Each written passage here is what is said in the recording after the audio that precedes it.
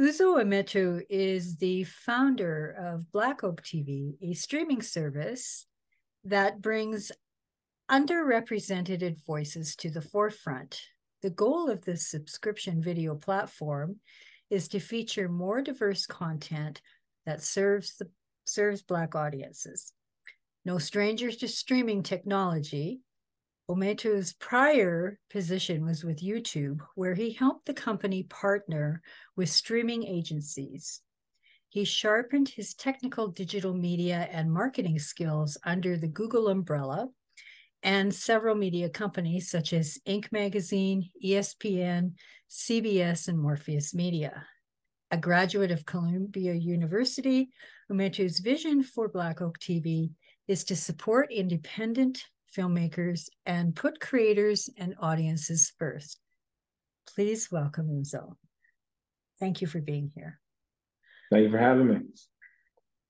You have a storied background in media and technology. Who or what encouraged you to focus your life on this career? To be honest, I think I got here kind of by happenstance. I have always been interested in things related to entertainment, media, storytelling.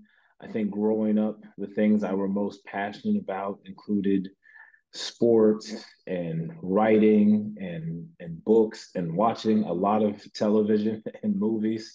And so I went into college and I think I thought I was going to be a doctor. And then maybe even closer to that, I thought just in general wanted to be a businessman, an entrepreneur. And at some point in college, I started to be exposed to different things. I got an internship at Viacom and MTV. I got another internship at a music label, small independent music label. And then on campus, I ended up working for the school newspaper. I put on a show there for the Black students at Columbia University.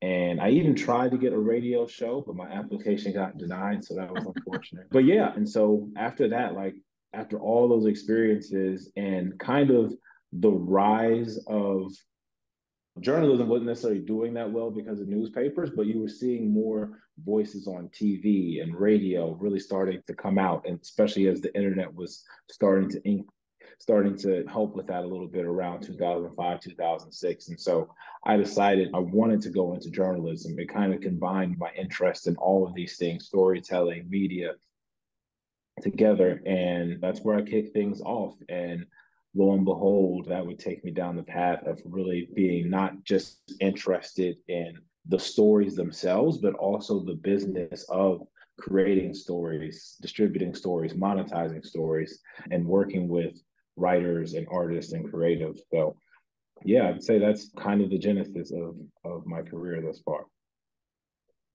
Featuring underserved voices is a no brainer and it's a no-brainer that media and streaming services need to change. How has working at Google and YouTube helped you find that niche you needed to make this a reality? Uh, you know, I don't know if it's a no-brainer. Like, I think it's because it's our thing to do. It, well, it's hard. Like, it's the no-brainer in that, you know, obviously underrepresented voices want to be fully represented, and we should want to make sure that they're represented. It results in better things for the community, for the country, for the world. And there is money in it if you are able to crack the nut, for lack of a better term. And so for those reasons, you could say it's a no-brainer, but I would say like it's not it's not easy, right? Like if it were easy and obvious, then the places that I've worked at, the media industry in general, they would be all over this. They would be doing this time and time again. And the truth of the matter is, when it comes to content, like the best way to monetize it is to have something that costs as little as possible and reaches as many people as possible. And so, by definition, if you're working with minority groups, they don't reach as many people. Those stories don't necessarily reach as many people as a story about majority groups does. So, it, from a math standpoint, it's difficult to do sometimes, but obviously it can be done. It should be done. we're trying to do it. And I think in terms of what I learned from these prior places that either had good intentions or tried and failed, I think the main thing is that you just have to be 100% focused on it. So you have to be able to see through the difficulties of serving underrepresented audiences and understand that on the other side of those difficulties are the no-brainer opportunities and that you know there is demand there's not enough supply out there and you know this is the right thing to do and that you will be rewarded if you can figure out what your path is to that. And so that's why we launched black oak tv is because i looked around and there just weren't a the, the big companies were not 100% focused on black audiences. And if they weren't i didn't think we were ever going to get our just due because of the economics and math of the situation. And so i knew a company needed to be 100% focused on this. And so that's what we're trying to do at black oak tv be 100% focused on black audiences and black stories. Let me preface this a little bit too by looking at maybe it's because of the internet and YouTube, YouTube videos. Mm-hmm. When you look at content from, say, Japan and Latin America, and you look at the views on even just the most mundane of all content that's on there from those communities compared to North America, it's not even a comparison. The view viewership is just drowns the viewership from certain content on North America. We're seeing with other streaming services where, like Netflix, where they are bringing in more other countries to create. So, is this something that is making it underrepresentative in the sense that they're not looking past their own borders? Or clearly, we need more voices, we need more directors, even just female and all cultures, Asian, every community. We need to have our media represent what we see outside of our window. But mm-hmm. do you think it's also kind of like small mindedness where we're not really looking at the big picture and the big picture is not North America, it's really global?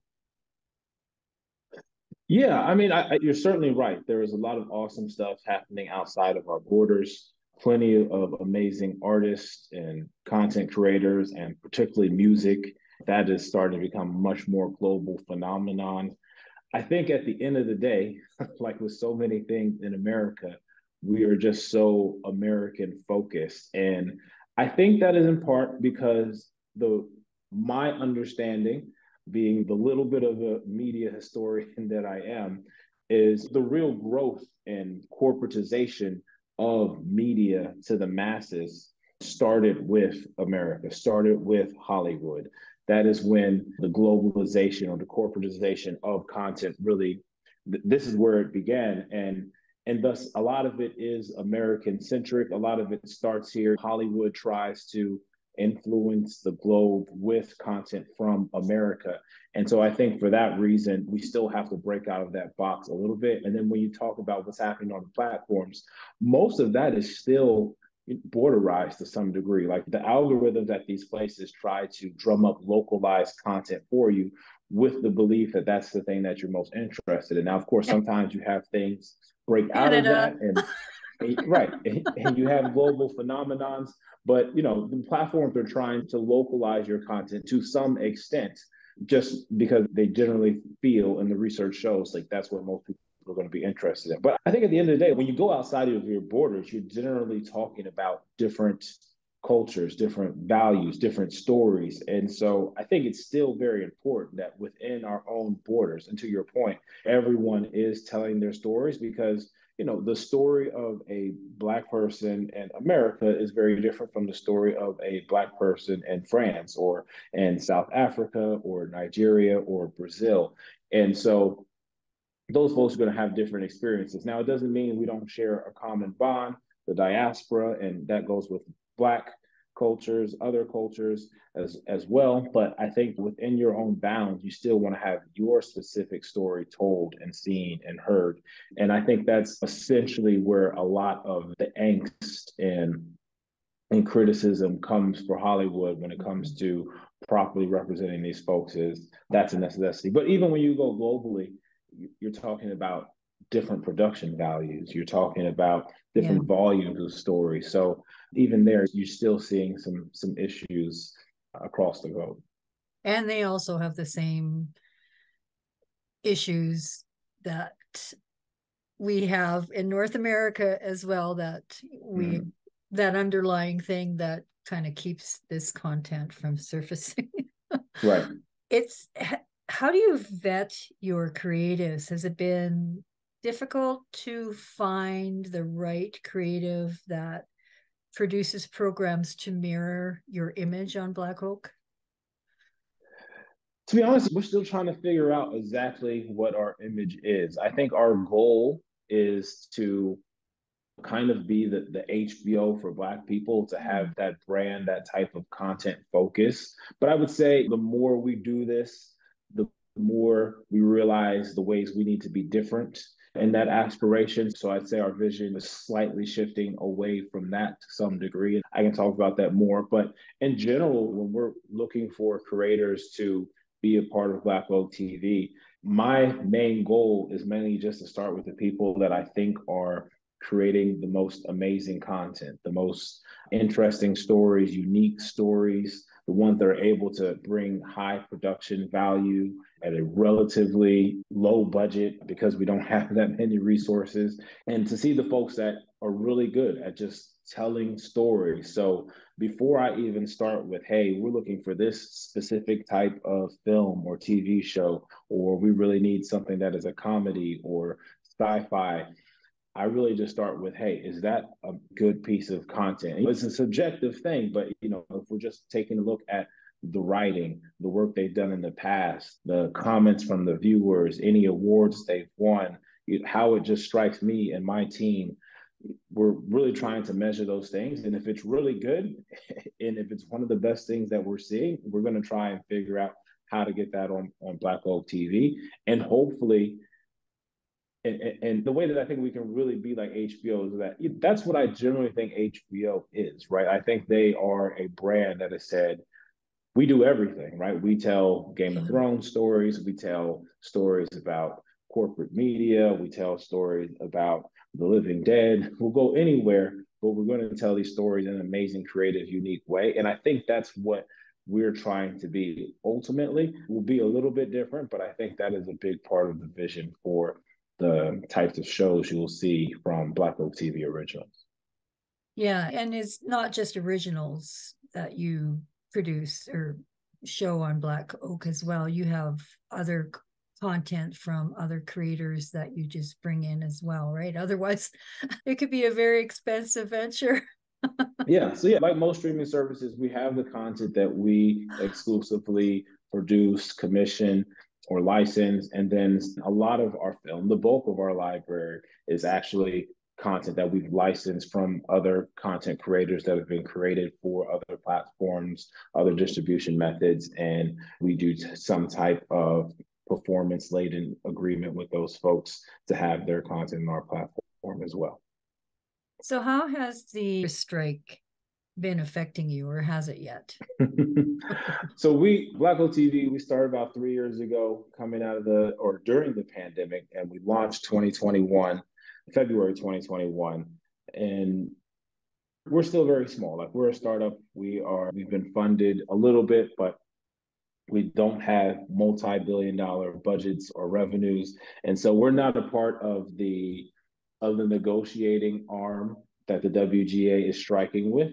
And so all of our content is basically done directly with the individual producers them, themselves. Some are obviously a part of the WGA. And so certainly those folks aren't doing any work for us at the time being, but that's perfectly fine. I mean, the thing about us being fairly small is that we don't put out that much content yet. We hope that will change in the months and years to come. But we have a pretty good base of content that we have to work with for the time being. And I have pretty good faith that, the strike won't go on too long or be too detrimental to what we're doing. But I'm very excited to see, I'm very interested in seeing what the negotiations end up bearing. And you know how both sides come to a conclusion here because there are some really interesting mm-hmm. negotiating points that they're talking about and it's really going to make a big difference in terms of how streaming goes over the next decade it's really kind of overdue right it's a lot you know it's been way too long down the tooth there for it to happen because i think it was pretty much the magnifying glass was shone on it with Scarlett Johansson, I think, with the, the Black Widow movie. Yeah. but yeah. So, what are some of the stories that you would like to see more of from the Black community? Well, I think, I guess the question I would answer is what are the stories that I want to see made from the black community for the black community and there's no one specific answer to start with like there's nothing like hey like i need this specific thing told at the end of the day for me it's just about more stories more representative stories things that you know we just seeing more and different sides of the black community i think for a long time in media we generally just saw a few stereotypes of black people, right? It was yeah. either something dabbling in violence or drugs, something with athletes, the troubled figures, or whatever it may be. And granted, over the last, I'd say, three to five years, we started to see different things, especially if, as there have been more scripted shows than ever being created. We are starting to see a little more angle of Black people being told. So for me, it's just really about keeping that up and continuing to do more things. Donald Glover recently released a show on Amazon Prime called Swarm, which was more or less about a black female serial killer, right? Like that's I wouldn't say if you had asked me before I saw that show, I wouldn't have said, "Hey, that's the that's the type of story we need to see more of." But I'm glad he did that, right? I'm glad yeah. we had a, an anti-hero uh, be a black female in a very creative and unique way.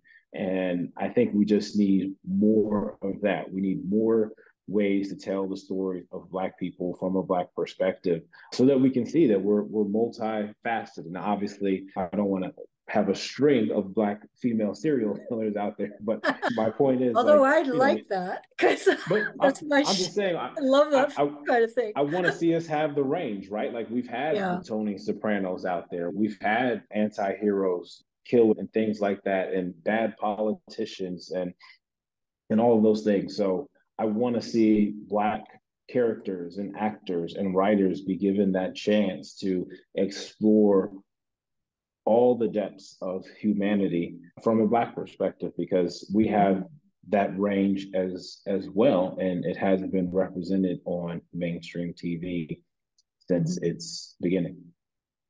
Yeah, and then certainly directors and producers that are black really make a difference. I mean, Jordan Peele has done something really amazing with the horror genre and yeah it's just yeah. like everything he touches turns to gold now no yeah he's done some really interesting things and you know he's part and he's a comic which makes it even weirder right right right i mean he's part of the vanguard that has helped push a lot of these unique stories forward and has shown mainstream hollywood hey you actually can do different things yeah. with black people like they don't have to be in these two or three boxes that you traditionally put them in.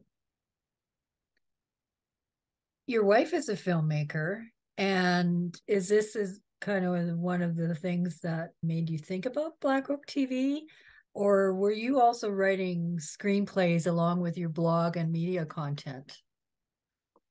Yeah i mean my wife has certainly played a role in me founding Black Oak TV, her being a filmmaker, having created several films, obviously have been inspired by the work that she has done, have seen her creative process, have seen her on the sets. We have co-authored, co-created some small projects together as well. So I would certainly say she has definitely influenced the types of stories I like and see and write. And then, yeah, obviously my own writing along the way has been very, very much part of that. As I mentioned, I kind of grew up just dabbling here and there. I wrote a couple of books, nothing you can find anywhere at all, but and stories. And I had the blog and and yeah, my wife and I have created some things that I've have produced some things that I've written, and vice versa. So yes, she's been an incredible inspiration and a partner in a lot of the things that I've done from a media and business for perspective. We'll probably only do more things together, hopefully, as, as Black Oak TV grows. I love that you're incorporating YouTube, Instagram, and TikTok creators. This alone makes Black Oak kind of unique. What other content are you excited about hosting? Well, there's a lot on our long list of things that we would like to do. I would say in the immediate future, we're looking to do a lot more kids content. There's just a dearth of that, even on the internet, even on YouTube and places like there's not enough kids content focused on Black children, Black stories. And so we're hoping to change that to some degree and start building in that direction. I want to do a lot more comedy, specifically stand up comedy on the platform. I think there is a really big hole there. Some of the obviously the big streamers have really gotten into promoting the big names and even bring some of the, the quote unquote middle class stand up comedians to the forefront and turning them into even bigger names. But I think there's a lot more that can be done there. I think there can be a big focus on Black comedians. And I think there's a real hole in the supply of Black stand up comedy that is still un, left unmet by the departure of things like Def Comedy Jam or love deaf Comedy. Uh, B- B- BET's Comic View. And so I think there's a big opportunity for something like that. And so we're looking to go in that area as well. And then I just think a lot of talk and nonfiction. Like we haven't really dabbled in that to any significant point. And I think the conversation that we're having and that you see across Twitter and other places all the time, I think there can be a home for, for that. And I think it can be done better than it is currently right now in a lot of places. And so we're trying to explore how we can be a home for that type of content as well too. Tell us about some of those recent challenges. I mean, there's been a lot of challenges, and we talked about some of them, but what are some of the more recent challenges that have been facing specifically Black creators? Well, when you say Black creators, what do you mean? Do you mean the, well, the digital creators, creators in general, like the filmmakers, the screen screenwriters, the producers, yeah. Because there's a lot main, of jobs out there, but I think the main thing from, from my uh-huh. observation and experience, I think the main thing is just breaking in. Like, you know, some of a lot of it is about who you know or who you can get to know, who you can get close to. Now, granted, I think you can really just try to push your way in and just create, create, create, and try to force yourself upon people. But I think at some point, the realization is that people have to make ends meet and, and pay for their bills. And if you live in New York or LA, that's a very hard thing to do. And ultimately, you can get bogged down in trying to provide for yourself that where it will get in the way of you creating and kind of derail your career. And so I think it is having some specific channels that people know they can go through to get their chance. Because at the end of the day, the average Black person, in comparison to the average white person is tends to not have those same connections to the industry, those same hands that can help them get the support and feed into it. It's just simple, simple numbers. And so I think you know, developing these channels, these pathways for Black creatives to find their way into writers' rooms, onto set, or into acting, even, I think it can really help because if you don't have the support from your family, if you don't have the savings account to really provide yourself in those early years where you need to be really creative and hustle and focus as much on this as possible, it's very hard to persevere. And I think that's been the great thing about social media is that yeah. it has been kind of the middle ground where perhaps you as a creative can marry your creativity with making money very instantly. Now, obviously, it's not great money at the beginning and it doesn't always grow for everybody, but it is one way that kind of evens the playing field a little bit and allows some people that otherwise would have had no way to support their creative efforts to do so by being creative. And I think the more the platforms can support that, the better we'll see Black people start to thrive on social media and in Hollywood in general. Yeah. Best part about social media and places like YouTube is it gives voice to the voiceless who would not yeah. otherwise get a second look. Right, right. So, what is your favorite part about being able to bring these stories to life? I mean, honestly, I think it's just that, right? I hear a lot of pitches. I talk to a lot of creatives, a lot of artists, filmmakers, writers who have these ideas and can't find anyone to support them, can't find anyone to finance it. And to occasionally and I say occasionally because obviously I can't finance every story that comes our way, even the ones that we want to finance. But occasionally, when you do find the match between what Black Oak TV's objectives are and a creator's objectives and goals, and, and to be able to just say, hey, let's go out and make this, like that's probably the biggest joy, like knowing that this piece of art that otherwise would have gotten made is going to be made now. That's the best that's the best part. I think i like that more than at least from a business perspective i appreciate that more than even the actual release of the film. And i know that's when all that's when you actually see the product of the work but just knowing that hey this thing is going to come true like we're going to put the resources behind it like it's a really good feeling for me i think it's a really good feeling for the artist and it's what we're about right it's about us giving these stories an opportunity to be told. And so that that moment when all of everything comes together and we can kick off that process, that's a really good moment. Where would you like to see Black Oak TV go in the next few years?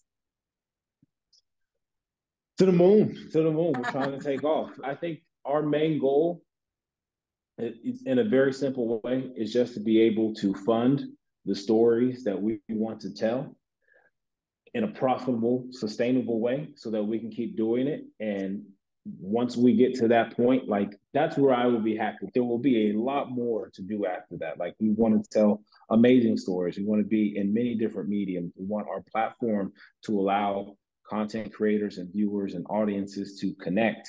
We want to be able to do things in real life. So have bring people together, whether it be for some type of private or public event. We want to do things like that. But I think the first thing on our list is to be able to tell X number of stories every single year and do that sustainably. Like right now, we're not a profitable company by any means. And so we're trying to get to the point where we're financing these stories. Those stories are bringing in the subscribers and the revenue that we need to finance more stories and just keep that flywheel going.